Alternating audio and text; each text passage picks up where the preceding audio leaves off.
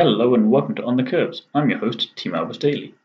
Joining me this week is Uruguay's next superstar racing driver, Maite Cáceres. We caught up recently to chat about how the 2022 F4 US Championship is going, her IndyCar and F1 dreams, what it takes to stay motivated as a racing driver, meeting the Vice President of Uruguay, and much more. So, without any further ado, let's just get straight into it. I hope you enjoy our conversation.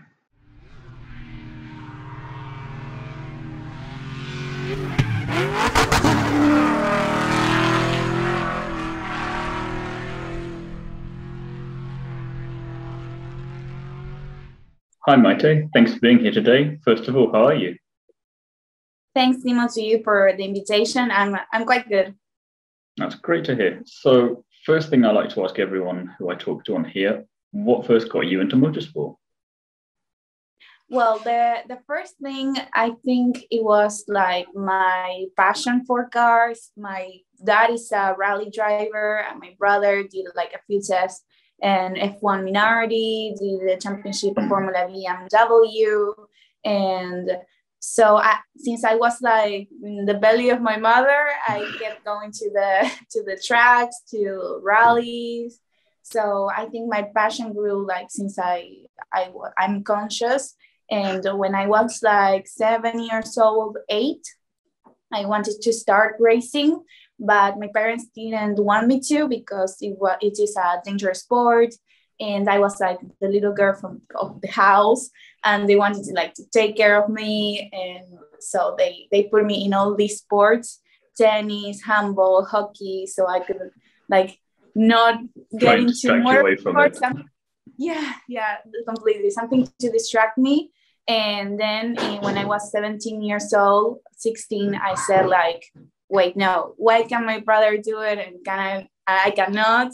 And they told me, well, well we we wanted to, uh, to you for fight for it, like to really get the, the that feeling that to work hard for it. So hmm. that was like the kind of thing that that made me like, okay, I want to do this. I'm going to work hard for it, and that's it. So make sure you know it's what you want, and it definitely seems to be. So yes, yes, of course. And then did quite well, first of all, because I mean, you achieved your first podium in San Jose in the Uruguayan National Karting Championship. What was that like to get on the podium the first time?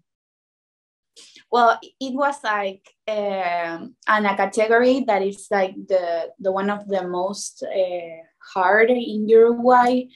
Uh, it was the DD2.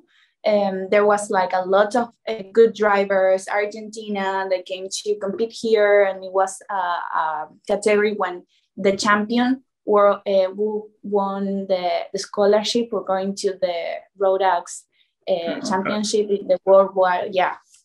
So it was pretty intense, the competition there.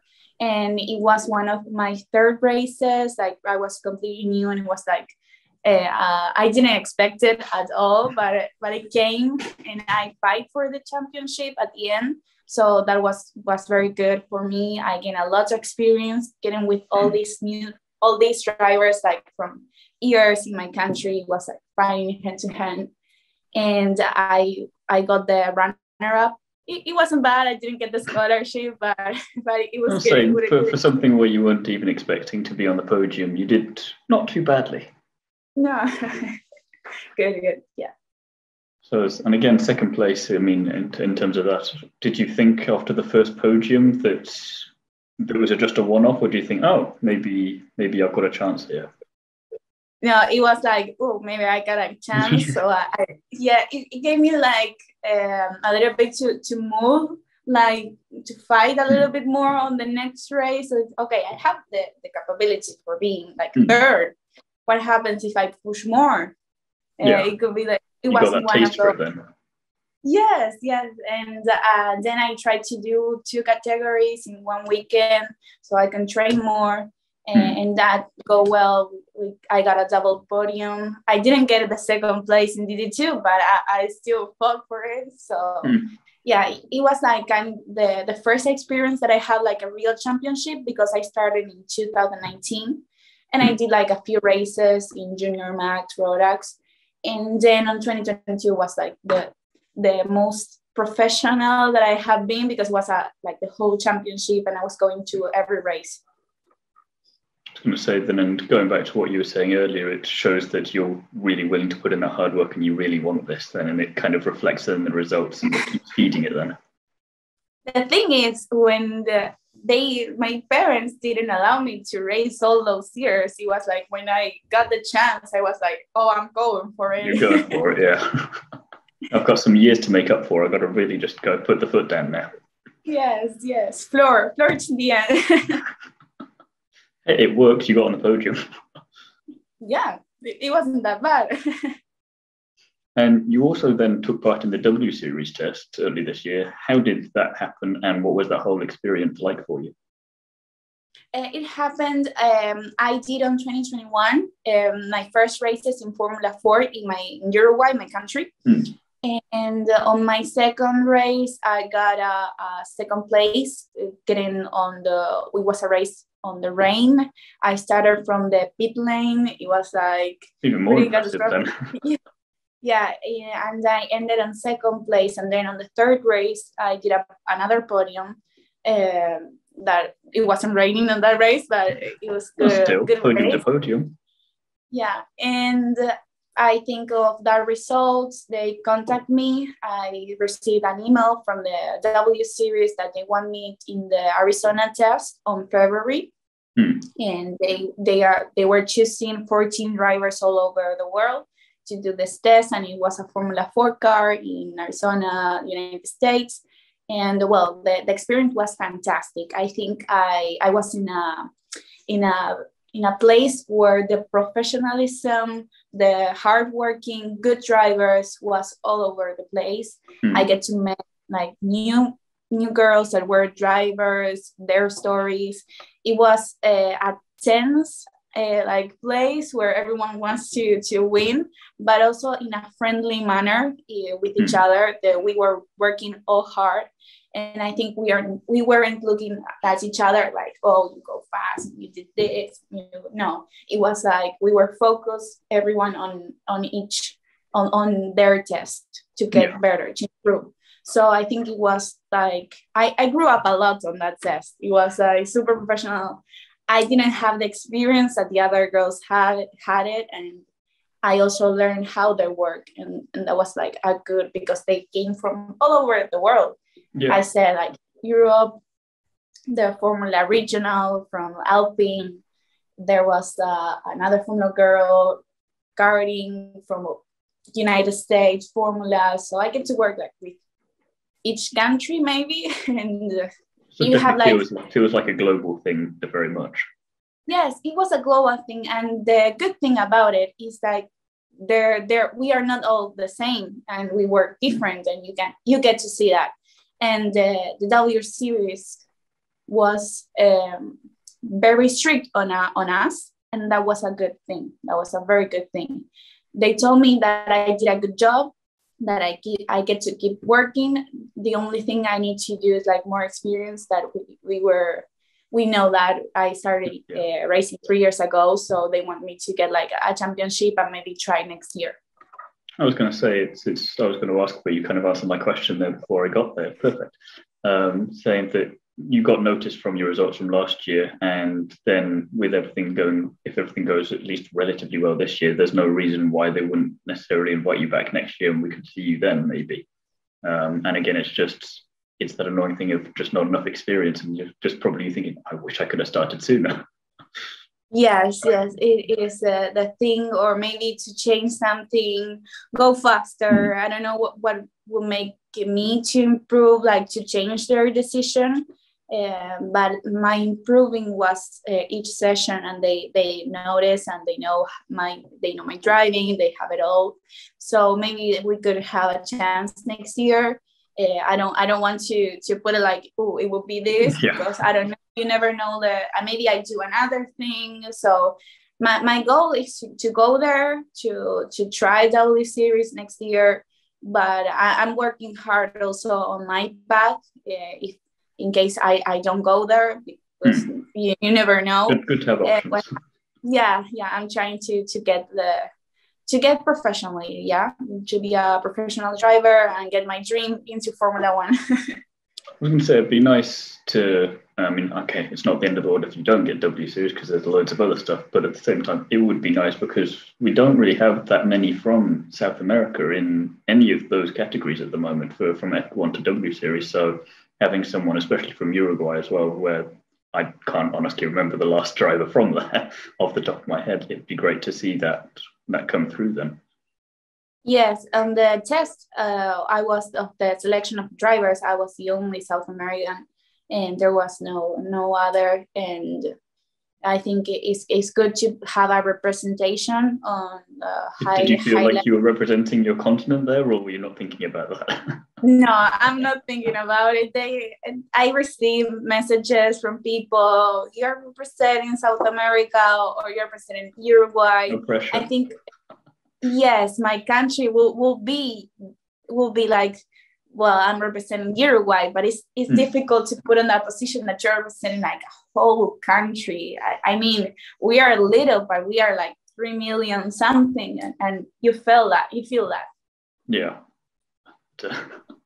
And then you were saying as well, you competed in Formula Four last year, and you're doing the same in America this year. How is that all going? It's going good. I had some troubles with the first race in, Nola Motorsport.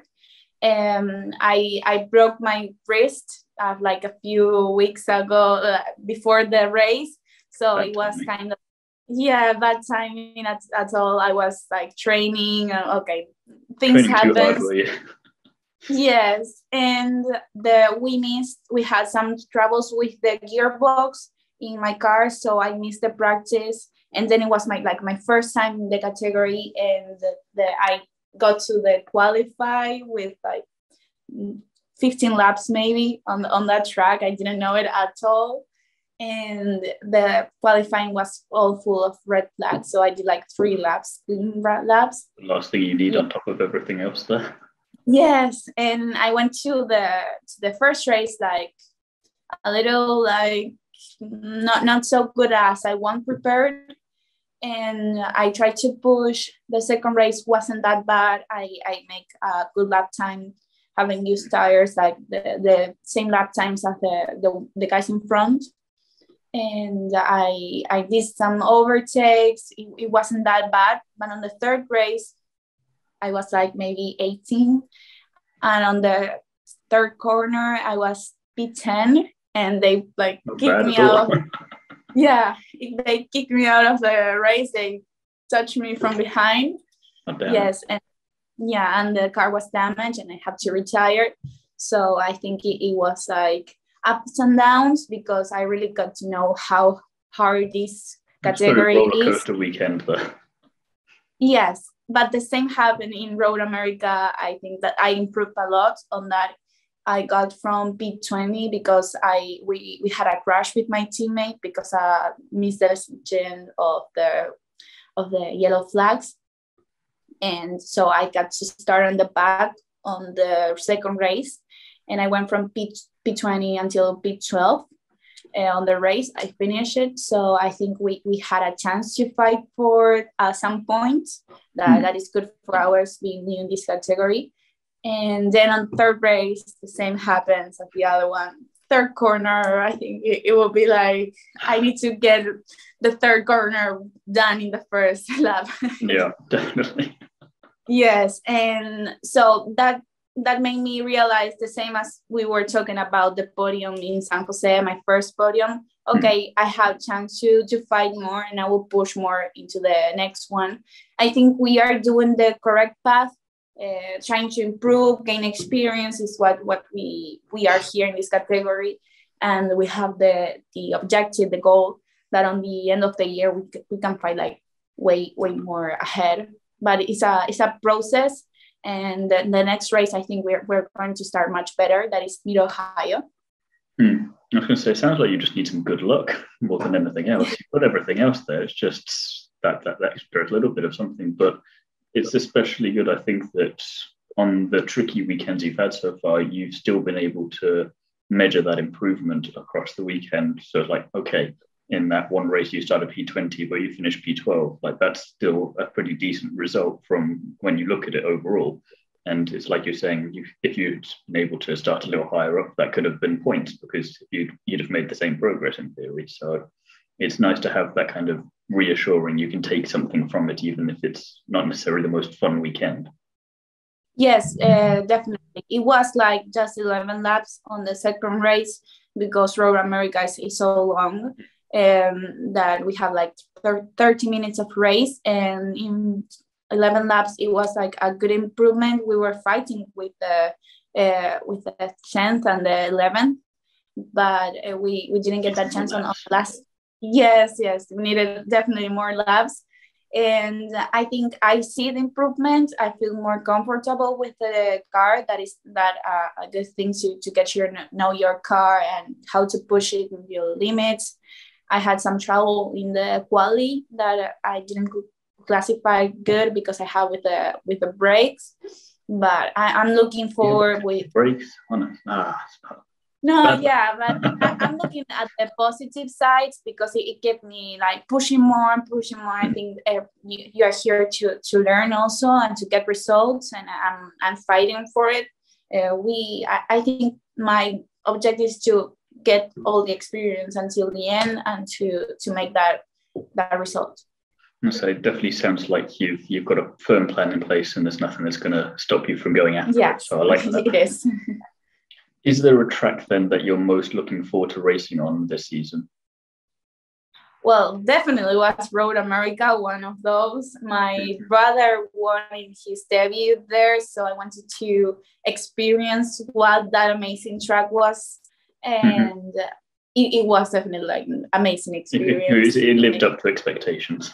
Yes, yes, totally. It, it's so fast. The most of the ground is like flat all the way, and that that's a good one like the first real track so like the famous real track that i have been to that you, you really need to to get the car going with with all the well the weights and and you have to put all the theoretical part like the physical part of the, the car and to think about it work on it and then for sure the Circuit of the Americas is one that I really want to to get it.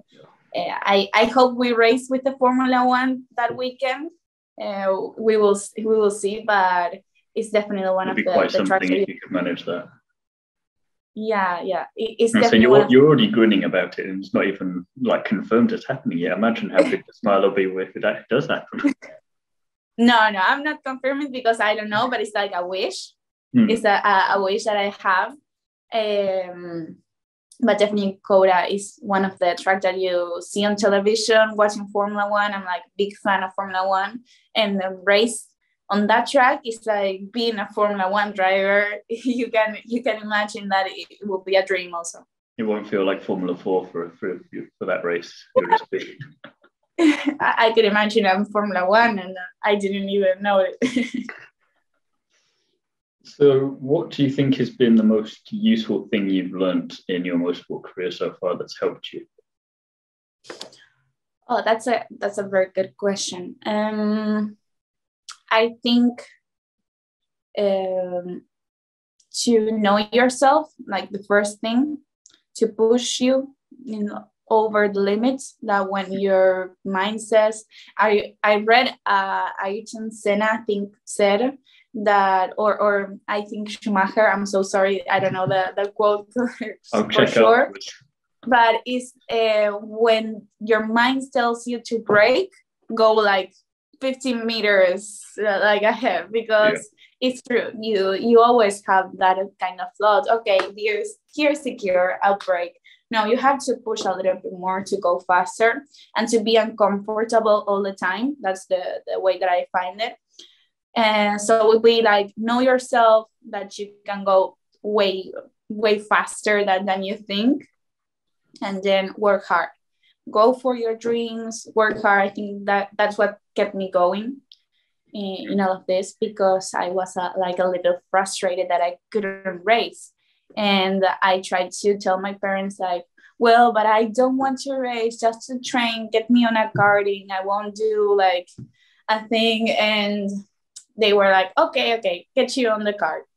And then I did a lap time, and I did no, this is one to I want to do like my whole life. I I want to race, and I told them, what can I do for the next race? I just listened that there was a race like two weeks ago, like 2 mm-hmm. weeks in advance, and they told me, well, if you get on that reference time that was in in San Jose, the, then I will I will go to the race.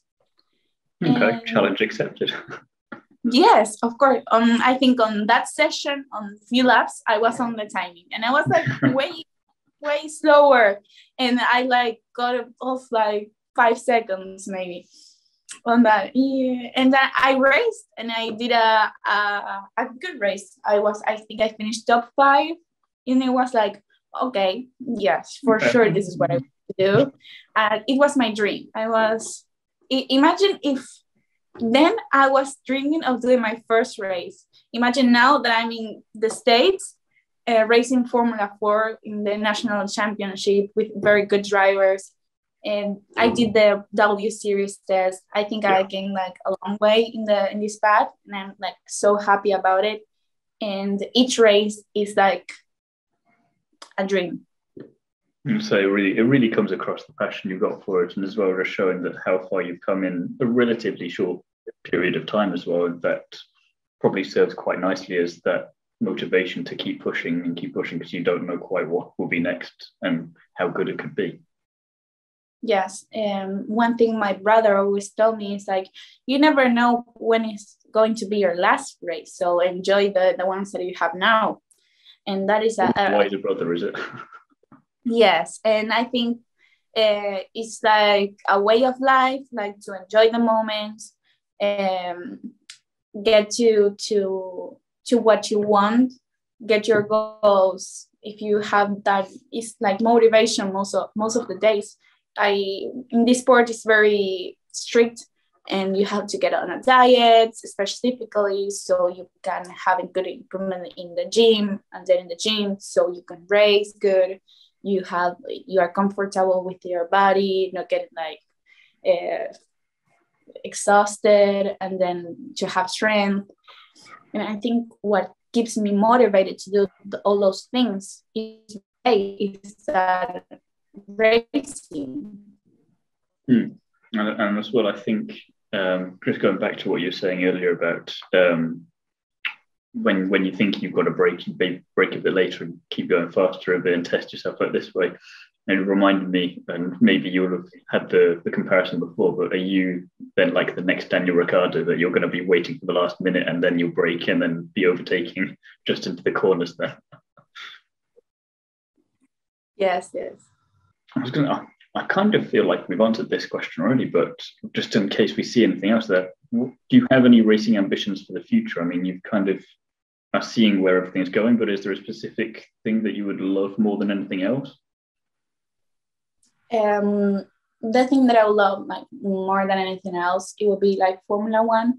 It was like my goal um, to get there, try it, race, it would be like awesome. But but to get the opportunity to get on a on this fast car, like mm-hmm. I'm in love with the speed. So it will definitely be one of my my goals. And IndyCar, I'm also like so keen on trying it. I think they're the like they are insane races. Mm. There's it is a different format than Formula One, but I really like it. I really like it, and it's enjoyable to watch. I mean, the the race from the day. I don't know if you saw the the street race in the wet. That was just insane. yes, that, that's it. The the races are a different format, but it's like it's pretty good, and it's really demanding on the on the physical part. I think more mm. in the car than Formula One because there are much more time and an oval. You gotta get tiring. Mm. I think it's, it's, a different kind of endurance in a way. Yes, and I, I really, I'm keen on trying it. it's like I know it's not easy, but to say that I want to try it, but I think Formula One is will be like the most for me. But I'm also like open to try another categories. I say theoretically, you're in the perfect place at the moment because racing in America is that's opening up to Formula One more and more, and potentially some more American teams interested in F1. You could always go IndyCar and then Formula One. Who knows? Yes, that's true. That's true. I, I don't know which path I, I will continue on, but definitely the, the Formula One is open more on, mm. on the United States, and then the Indy is also open like a lot with the the, the women in mm. in racing. They have I think one driver, Tatiana. Yeah. And then there I know there's another girl that are that is going to try it to race.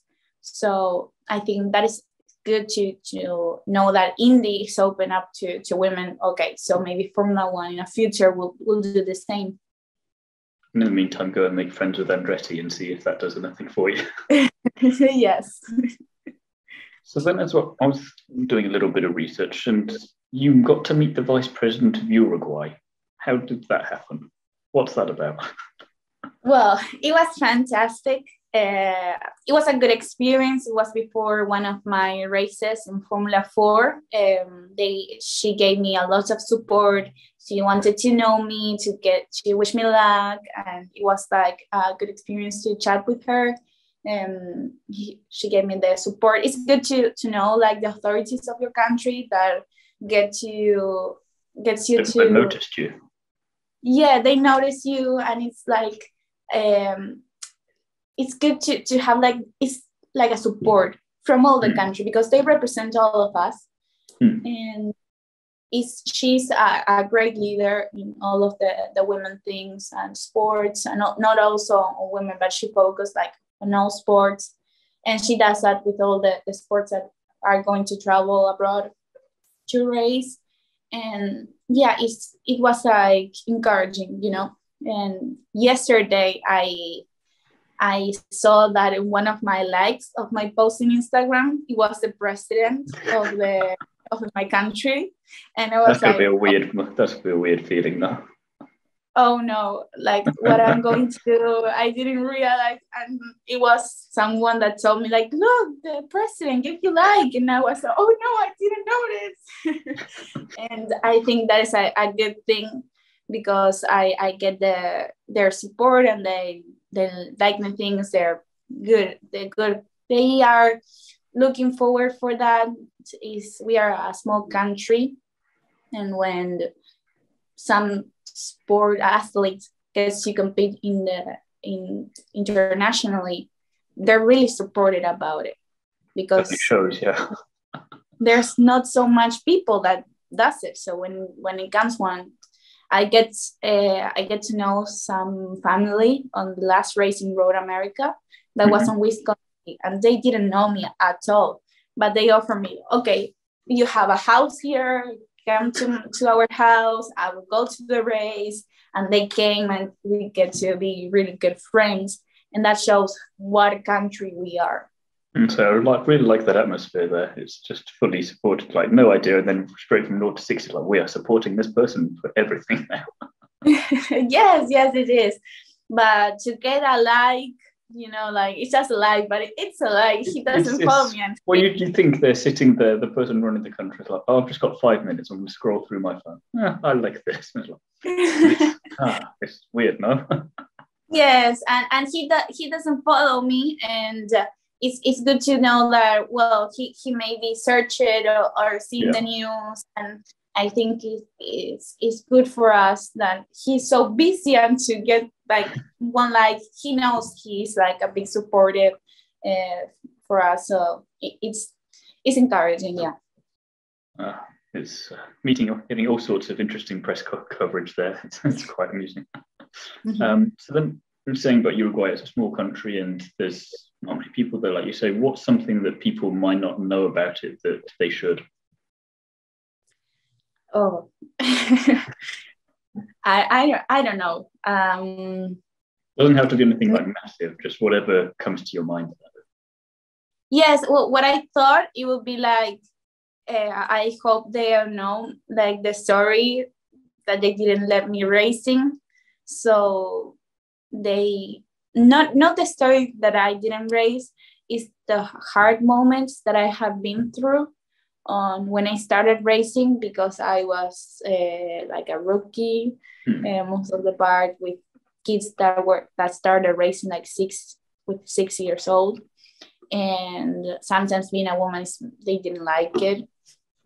And I think that's a good thing. So oh, I think especially for young ladies like little girls that want to chase their dreams. And like sometimes family don't support her or don't know how to do it. I think it will be good to get to know that part.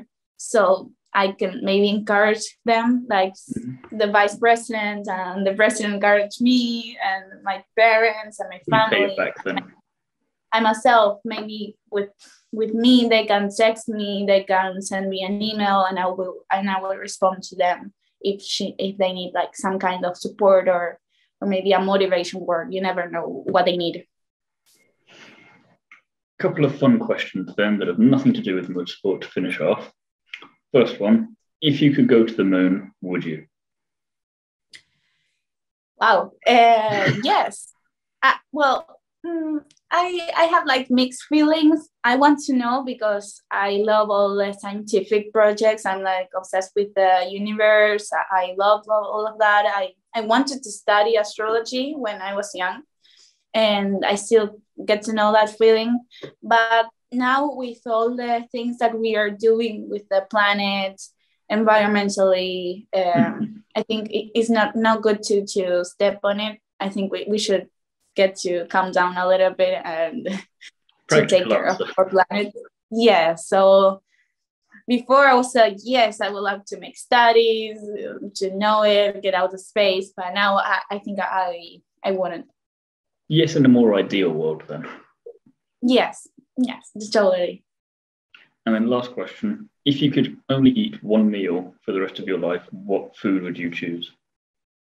You're not going to believe it. But if I want to like one meal, I mm-hmm. think it's like most of my breakfast it would be like banana with peanut butter. okay, definitely wasn't expecting that. Yes, that that's like you, you never you know but that is like my go-to meal. I, I don't get like it's just like a little bit. It gets me full. Good good fats, good fats, good carbo, and then a yogurt, good protein. So all the nutrients. Simple but but tasty sounding. I like it. Yes, good. Well, it's been an absolute pleasure chatting with you today. I want to thank you for your time and wish you the best of luck for the rest of this year and for everything you everything else you do moving forward. Thank you, Timo, for you. And it was a, uh, a good interview. I want to thank you uh, for what you do for all the, the sport, the athletes. So thank you. You're very welcome.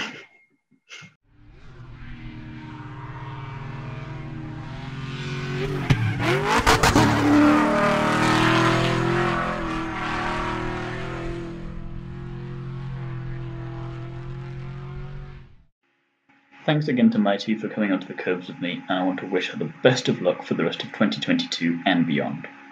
Join me again soon when I'll be chatting to another famous face from the world of motorsport. And in the meantime, don't forget to like, comment, and subscribe, and check out the other videos on the On the Kerbs YouTube channel.